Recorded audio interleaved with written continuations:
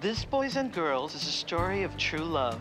A beautiful girl from one county, a handsome boy from another. They meet and they fall in love.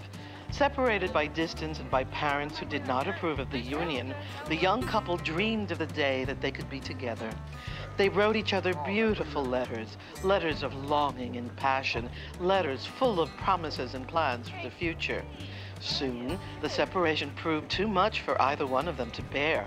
So, one night, cold and black, with no light to guide them, they both snuck out of their homes and ran away as fast as they could. It was so dark out that they were both soon lost, and it seemed as if they would never find each other. Finally, the girl dropped to her knees, tears streaming down her lovely face. Oh, my love, where are you? How will I find you? Suddenly, a band of stars appeared in the sky. These stars shone so brightly they lit up the entire countryside. The girl jumped to her feet and followed the path of the stars until finally she found herself standing right where the town gazebo is today. And there waiting for her was her one true love, who had also been led here by the blanket of friendly stars.